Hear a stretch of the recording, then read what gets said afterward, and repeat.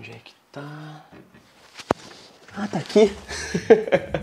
festa junina. Sim, estamos em junho. E o que, que festa junina mais me lembra? Uh, deixa eu ver. Comida maravilhosa. E aqui não vai ser diferente. A gente hoje vai fazer um brownie com uma cobertura. Na verdade, não é nem cobertura, é um recheio de caramelo super diferente e muito fácil de fazer. E ainda vai amendoim, fica delicioso. E além do mais, a gente vai fazer um milho muito diferente na air fryer que serve como um snack, é delicioso também. Então eu conto com vocês na receita. Já não se esqueçam aqui, ó, já se inscrevam no canal de Nosso All aqui no YouTube, já deixa aquele like e comenta qual deve ser a próxima receita. Mas antes disso, vamos para a receita de agora. Vejo vocês.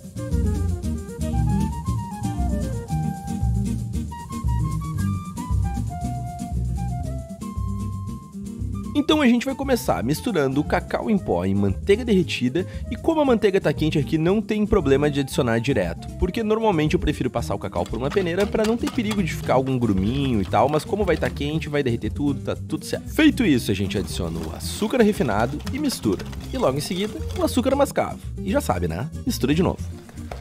A consistência vai começar a ficar um pouco pastosa, mas não te preocupa, que logo em seguida a gente já vai vir com o bicarbonato, com os ovos e com extrato ou essência de baunilha.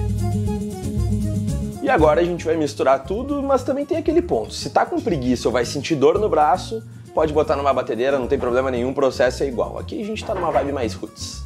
Bom, então já sabe, né? Como eu disse aí, pode misturar bem, a gente vai querer bem misturadinho para ficar com uma textura mais fofinha e isso vai ajudar bastante na hora de assar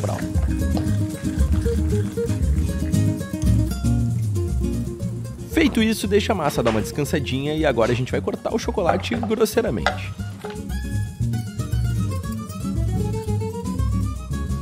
E aqui eu prefiro cortar o chocolate dessa forma porque eu gosto um pouco da aleatoriedade do corte. A gente corta alguns um pedacinho maior, menor e tudo mais. Eu acho que fica interessante. A gente vai pegar uma mordida que vem mais chocolate, outra que vem menos, e eu acho que fica bem bacana esse esquema. Depois de adicionar o chocolate na massa, a gente vai misturar bem para que ele se incorpore de forma igual.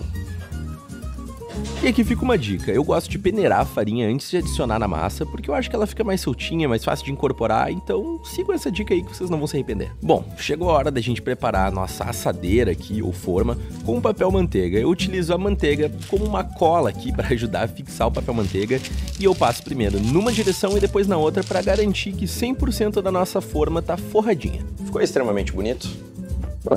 Ficou prático? Sim. a gente vai adicionar na forma a primeira camada do brownie e eu faço normalmente 50%, 50%, tá? Então, 50% de brownie, recheio e depois 50%. Se não for exatamente ficar um pouco mais de brownie embaixo, um pouco mais em cima, não tem problema, tudo vai se acertar e vai ficar show. Pro nosso caramelo aqui, a gente vai fazer uma parada bem diferente que eu sempre vi nos vídeos americanos, testei, deu super certo e resolvi passar para vocês. A gente vai fazer um caramelo, só que dessa vez vai ser um pouco diferente. A gente vai utilizar essas balinhas de caramelo que são super famosas lá fora e aqui também porque é muito gostoso E o primeiro processo que a gente tem que fazer é abrir todas e dar um trabalhinho. Bom, mas feito isso, a gente vai botar o leite condensado numa frigideira, numa panela, de preferência antiaderente, e quando der uma esquentada, e a gente tem que estar tá mexendo, hein? Não se esqueçam. Quando deu essa esquentada, a gente vai vir com a nossa balinha de caramelo e deixa aí, vai derreter devagarinho, não tem problema, pode parecer que não vai dar muito certo, mas vai dar certo. Vai mexendo para não queimar novamente e vocês vão ter um resultado lindão que nem esse aqui despeja o nosso recheio de caramelo, que ficou muito bonito, super aveludado, que vocês estão vendo, cremoso também.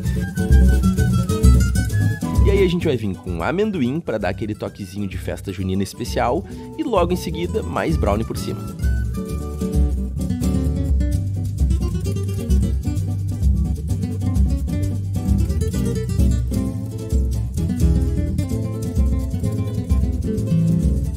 Então, a gente vai deixar a 180 graus por mais ou menos 35 a 45 minutos. 35 minutos se eu gosto dele um pouquinho mais molhadinho no meio e tudo mais, e 45 se eu gosto dele um pouco mais crocante e tal, mas vai continuar molhadinho no meio também. Então vão testando e, enfim, de todos os jeitos vai ficar bom. E agora o hack que vale um milhão. A gente vai fazer um corn ribs que nada mais é do que um milho que vai lembrar aquela costelinha assim bem americana, e a gente fazer air fryer, fica top, e eu tenho certeza que vai surpreender geral aí. Então, bora pra receita. Para preparação aqui da nossa corn ribs, eu gosto de cortar a bundinha para ficar mais fácil, porque o jeito mais prático que eu achei é cortando assim de cima, tá? Então a gente vai cortar. O nosso milho pode ser um pouquinho difícil, a faca tem que estar tá afiada, qualquer coisa eu já vi bastante gente na internet batendo com um rolo de massa em cima, com um pano e tudo mais, para ficar mais fácil de cortar. E detalhe, eu testei e deu super certo. E na manteiga derretida a gente adiciona os temperos do nosso gosto. No meu caso aqui, páprica defumada picante foi o suficiente com um pouco de sal para trazer aquela pegada meio feito na brasa assim.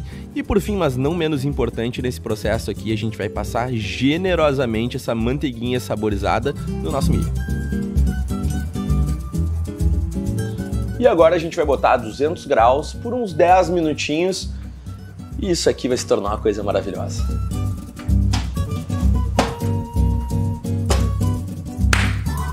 Nada como empratar de uma forma super chique um preparo muito simples. Editor, bota uma música aí para parecer que isso aqui é chique demais.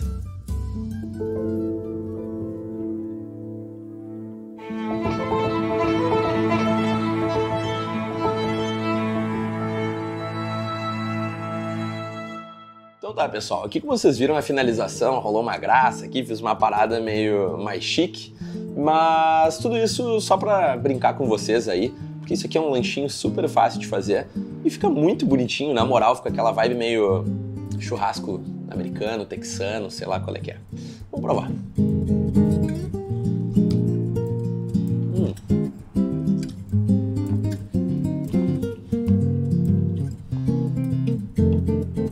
Ficou muito bacana, vocês ouviram a crocância aqui provavelmente pelo microfone.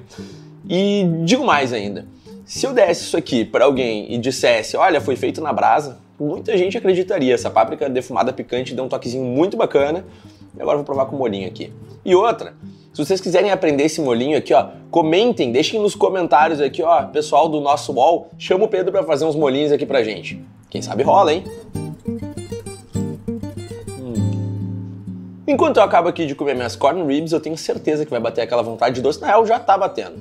Então, bora voltar pros nossos brownies. Os nossos brownies estão prontos, agora é só cortar e partir para braço.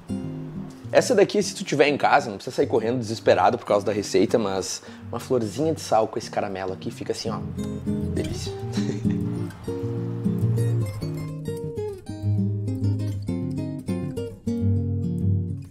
e chegou a hora que eu tava esperando, e vocês também.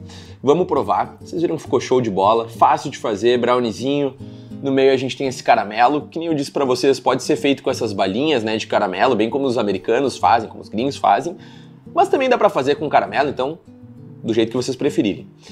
Cortar aqui, a gente vai se lambuzar, pegar um pedacinho menor, para parecer que eu sou comportado. Tá bem molezinho, olha que delícia. Olha aqui. Hum. A flor de sal aqui fez um papel muito bacana, deu uma quebrada, mas o amendoim já dá essa quebrada no doce, não fica super doce, ao contrário de que possa parecer, não fica nada doce, fica super gostoso, super equilibrado. Bom, pessoal, brownie de festa junina e corn ribs feito no air fryer, vocês querem coisa melhor? Pelo amor de Deus. Então não se esqueçam de inscrever aqui no canal do nosso wall. Curtam esse vídeo, comentem aqui o que, vocês acharam dessa receita, o que vocês estão esperando para essa festa junina. E eu vejo vocês na próxima, na próxima receita e no próximo vídeo. Não percam por nada que tá muito bacana. Vejo vocês lá.